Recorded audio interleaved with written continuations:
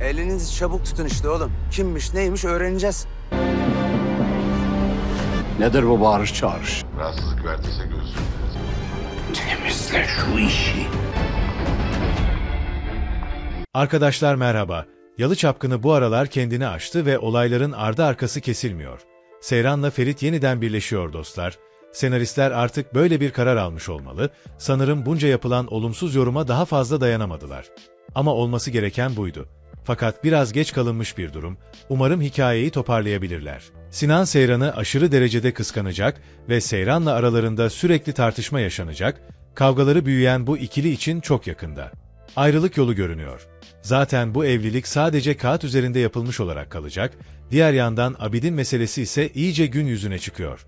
Artık Abidin bu sırrı öğrenecek ve kendisinin de Korhan ailesinin bir ferdi olduğunu anlayacak. Abidin'in babası yıllar sonra konağa dönecek, Abidin'in babası Halis Ağa'nın üvey kardeşi oluyor. Halis Ağa ile büyük sorunlar yaşamış ve neredeyse düşman olmuşlar.